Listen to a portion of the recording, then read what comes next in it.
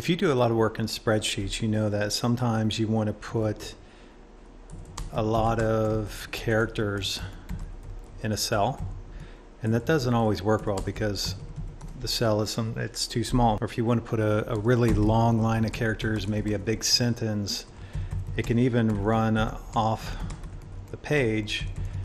And Google Sheets isn't smart enough to word wrap it. It'll just keep it like this, and uh, it, looks ugly. It's hard to read. It doesn't really work very well. So, a lot of times the way that you would work around this if you were using Microsoft Excel would be that you would insert a text box.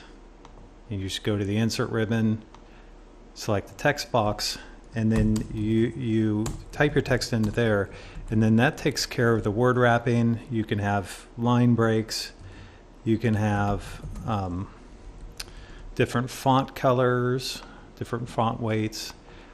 It, it's kind of like a mini word processor within your spreadsheet.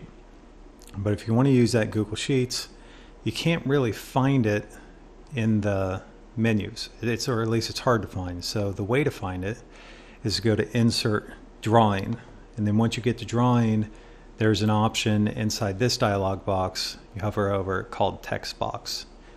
So if you select Text Box, and then you draw it on this pop-up page still, and you um, and this is my text box where the text wraps and can be styled. Let's just show you that. Well, that's the background. And this is the text.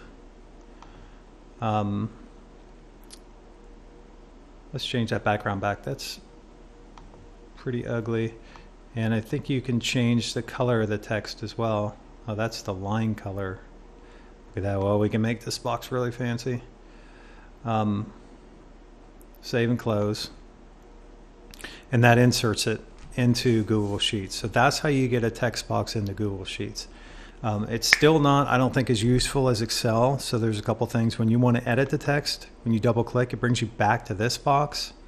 So um, it's not as fast.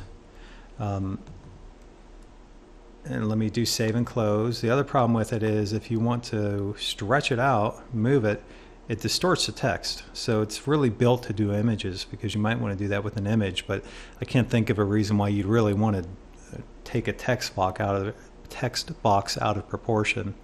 Um, so inserting a text box is there; it does work. It's just not very smooth. The other thing, the advantage of a text box is that this is not inside the flow of my data. So I could have formula formulas here underneath it and they still stay intact. They still work no matter if the text box is there or not. So if this text box was some sort of a label, you wouldn't have to worry about it affecting things. I just did this under the text box. So that's it in a nutshell. That's how you put a text box into Google Sheets.